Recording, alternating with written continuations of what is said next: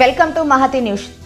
Prakasam జిల్లా దర్శి నియోజకవర్గంలోని తాలూరు మండలంలో ఐదవ రోజు కొనసాగుతున్న జిల్లా యువజన కాంగ్రెస్ నాయకులు కైపు వెంకటకృష్ణారెడ్డి మహా పాదయాత్ర గంగవరం నుండి తాలూరు వెళ్ళే ప్రధాన రహదారిలో పాదయాత్ర కొనసాగింది.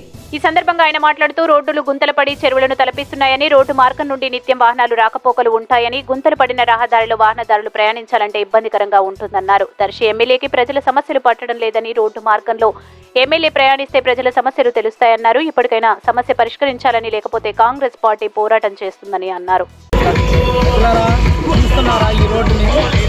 ఈ రోడ్లో సుమారు డైలీ టూ హండ్రెడ్ రెండు వందల నుండి మూడు వందల వెహికల్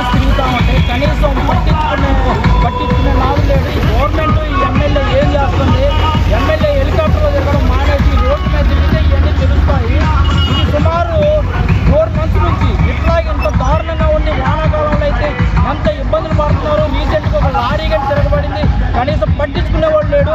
దీని మీద కాంగ్రెస్ పార్టీ త్వరలోనే పోరాటం చేస్తుందని ఈ విధంగా తెలియజేస్తున్నాం కృష్ణారెడ్డి